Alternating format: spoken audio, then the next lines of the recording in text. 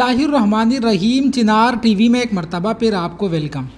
नाजरीन, आगे बढ़ने से कब थोड़ी देर के लिए इन बेहुदा मनाजिर पर मुख्तसर सी निगाह डाल दीजिएगा। ये मनाजिर किसी मगरबी मुल्क के नाइट क्लब के नहीं, बल्कि ये पाकिस्तान के खूबसूरत तरीन सकाफ़ती ख़त्ता। हंज में मुनदा एक बेहुदा प्रोग्राम के मनाजिर है। जिसे बड़ी होशियारी और चालाकी से सकाफ़ती, मौसीकी और आर्ट शो का नाम अब दिया जा रहा है।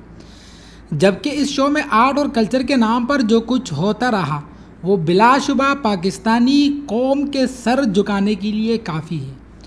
नाजरीन मुसदा इतला के मुताबिक इस प्रोग्राम के लिए पाकिस्तान भर से मुख्तलफ़ अदाकार, गुलकार कॉलेज़ और यूनिवर्सिटीज़ की तालिबात लाई गई थी। और इसमें, इस बेहूदा शो में कराची के एक बदनाम ज़माना शख्सियत और कराची में अरबों की करप्शन करने वाली शख्सियत।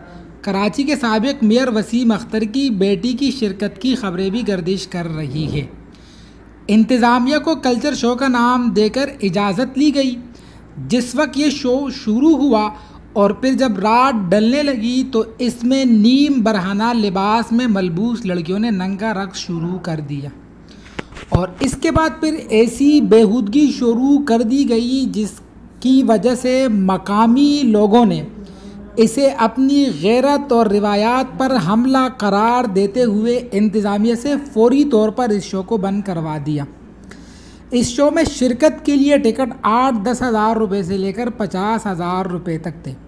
और यहाँ पर आपको एक हैरत अंगेज़ और अजीब बात ये बताया कि पाकिस्तानी मीडिया अब तक इस पर खामोश है पाकिस्तान में मेन स्ट्रीम मीडिया के बेगैरत और बेशरम लोग अभी तक इस पर खामोश है, जबकि इस शो को मंजर आम पर लाने वाले बीबीसी के नुमाइंदे हैं। इससे आप अंदाज़ा लगा सकते हैं कि हम लोग किस तरह के और हमारा ये मुल्क किस तरफ़ जा रहा है। अभी तक ये बात सामने नहीं आई है कि इस शो को मुनद करने वाले लोग कौन थे। ये बात भी बहुत जल्द सामने आ जाएगी और यकीनी तौर पर इसमें दो राय नहीं हो सकती है कि इसके अंदर हुकूमती लोग ही मुलविस होंगे। क्योंकि इस किस्म की बेशर्मी और बेगैरती हुकूमती लोगों के अलावा कोई और नहीं कर सकते हैं। खुदा ही इस प्यारे वतन पर रहम फरमा दे।